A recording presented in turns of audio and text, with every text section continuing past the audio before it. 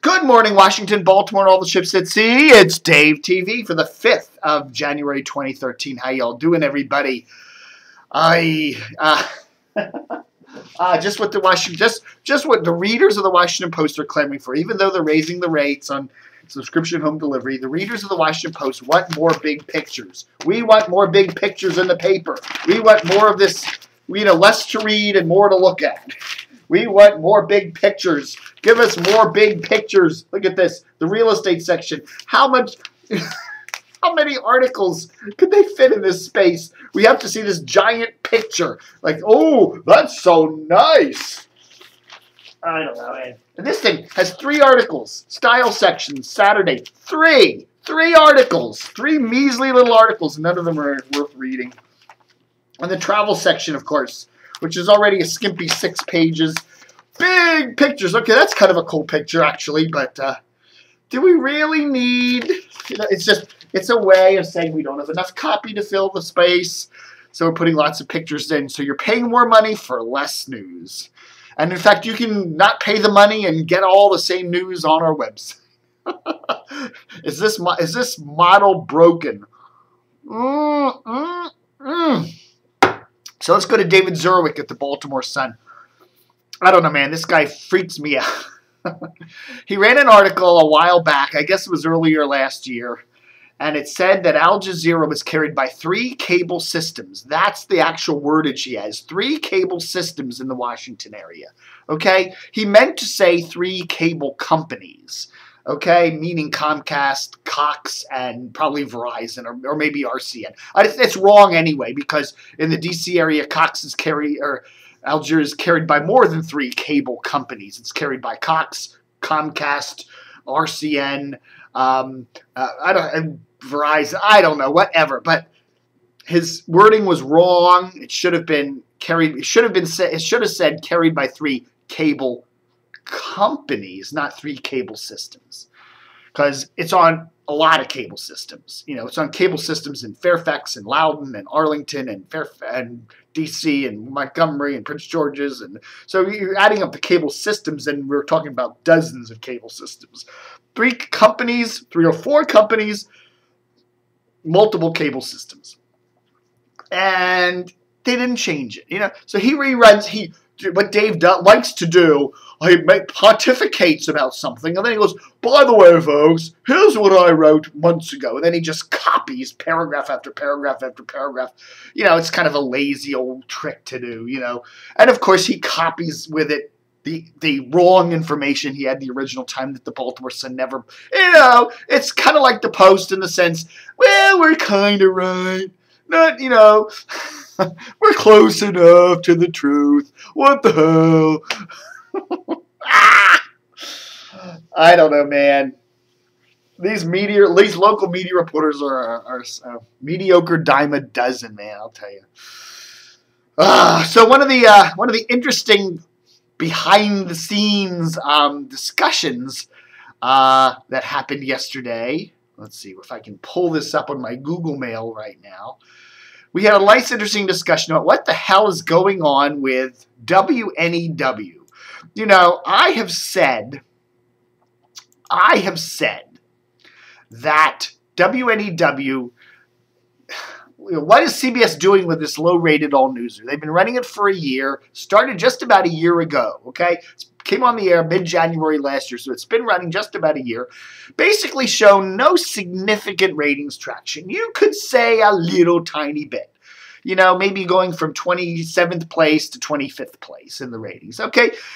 CBS claims the station is making money. Okay, now you got to wonder because they do have a big staff. When you're doing an all newser, you got to hire a lot of people. You know, it's not just like playing records, playing records.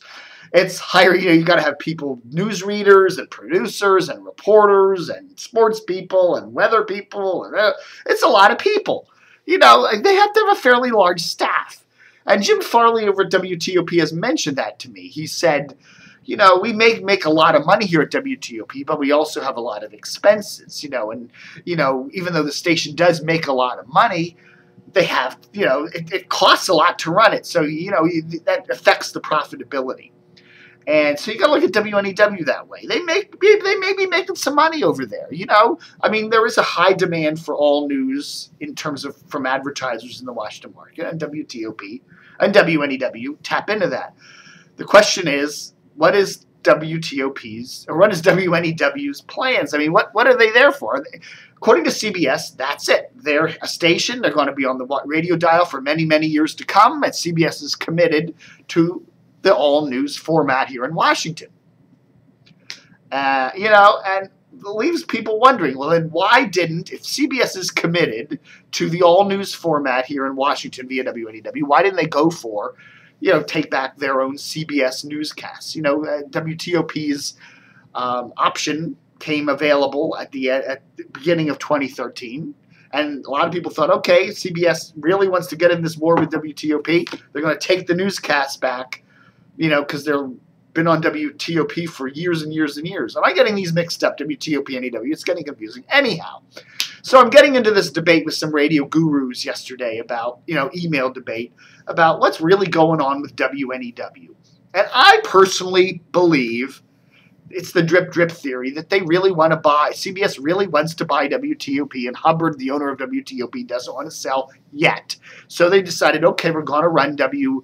NEW and just keep it going. And, you know, maybe, you know, even if it doesn't make a hell of a lot of money, you know, we're going to just do it there to siphon as much ratings and revenue from WTOP as we can until Hubbard decides to sell. It's a prestige thing.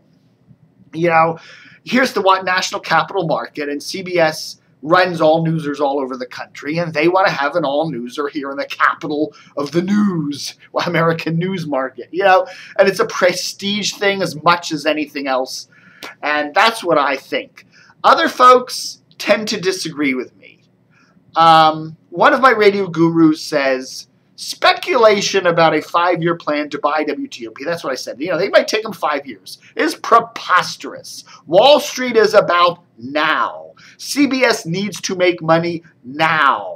They can't allow WNEW to flounder for four more years on the hope that they can buy WTOP. This is a public country, company who answers to Wall Street. Okay? So, you know, these these are some of my radio gurus telling me this. You know, um, so one of my radio gurus really seriously thinks that W that CBS is going to take WNEW in 2013 and, and flip it to CBS Sports new sports radio network. CBS just started a sports radio network. Uh, but he also thinks they're going to move that signal to 1079, put El Zol back on 99.1. That's what he thinks. So El Zol, the 99.1 signal would be back to El Zol, WLZL, and 1079 would be the CBS Sports Radio Network. I don't think that's going to happen. It doesn't make a lot of sense to me. To put CBS Sports radio network on FM on a fairly decent signal that covers both Washington and Baltimore is only going to cannibalize CBS's um, local sports talkers like uh, 1057 The Fan in Baltimore, 1067 The Fan in DC. It doesn't make a lot of sense to me. You know, they're only going to, you know, it's, it, they're only going to hurt their local stations doing that. Uh, I can see CBS using the CBS Sports Talk Network for shows for 1057 and 1067 in some of their weaker time slots and maybe putting it on an AM or, or on an HD2 or something. But I just my little brain here says it doesn't make any sense to put CBS Sports News Radio, Sports Talk, whatever the hell it's called, the CBS Sports Radio Network on a major FM or in the Washington Baltimore area to compete with 1057, 1067. I don't see that happening. And I don't know. I can't. I, I just I can't see CBS pulling the plug on WNEW anytime soon. I just can't.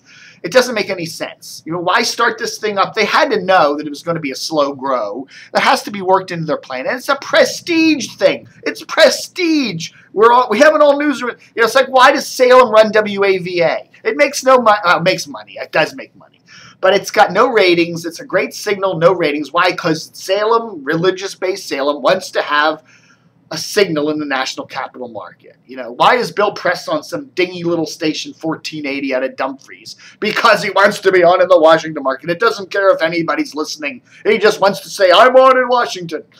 And I think a lot of these people are like that. CBS wants to say, we're on in Washington. We've got an all newser in Washington and one in Baltimore, uh, not in Baltimore, in Boston, and, and uh, a news talker in Baltimore, Boston. And we've got in two all newsers in New York and LA and, uh, and in Washington. So I, you know, I think it's a prestige thing. and it's got a twofold thing. They want to get TOP, they really do, and you know, but they don't mind, you know, cutting, uh, you know, a deal here to keep NEW. I think WNEW is going to keep running. I don't see it changing much. It would, uh, you know, it would be smart to maybe make it a news talker like BZ in Boston. You know, maybe if Rush Limbaugh gets kicked off of MAL because of the cumulus and all the negotiations going on over there, he might end up on WNEW. Hey, that would certainly, um, I don't know.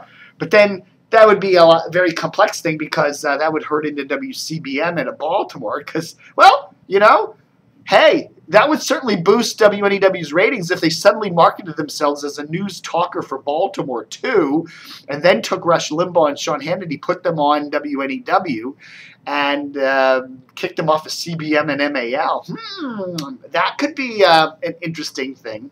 The other interesting thing that happens with WNEW is they step on uh, CBS Baltimore's footprint there. you know, there's not a lot of love. There's not a lot of love between the guys that run CBS Baltimore and CBS DC. There just isn't. I don't know. It's a big, complex thing. Uh, a lot of my radio gurus are just still wondering what the hell's up with uh, with um, WNEW. You know, I think it's going to just keep on trucking the way it is, pretty much through 2013. Uh, I don't see any big changes there. I really don't. Um, you know, they would get higher ratings if they put an oldies format on there or maybe brought it brought it back to HFS. But this is prestige. This is a national thing, and I think uh, I don't think it's going to change until I think CBS is committed to having an all newser here in Washington, regardless of the ratings, um, and hopefully down the road pick up TOP. That's what I think, and I'm sticking with it thank you so much. Oh, oh, one other nice, I got a really nice note. Uh, where did I put that? Where did I put that? Here we are. Really nice note yesterday from Dawn Konrad. She's the wife of uh, John Konrad, who passed away earlier this week of pneumonia. He was the guy who ran uh, WGTS, Vice President, General Manager, Christian Contemporary WGTS. And I did that Dave TV a couple days ago where I really praised him. I thought he was a great guy.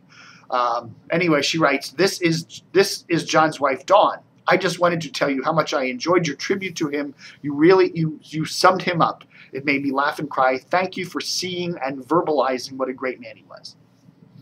And thank you, Dawn. And uh, John was a great guy. Again, I never met him, but we did email a lot, and we were in you know communication quite a lot. And uh, I always you know thought he was a great guy. We need more John Konrads here in Washington. All right, folks that's Dave TV for the 5th of January, 2012. I'm getting the, see, I'm getting the year wrong. 2013, 2013, 2013. Thanks for watching Dave TV. Live long and prosper.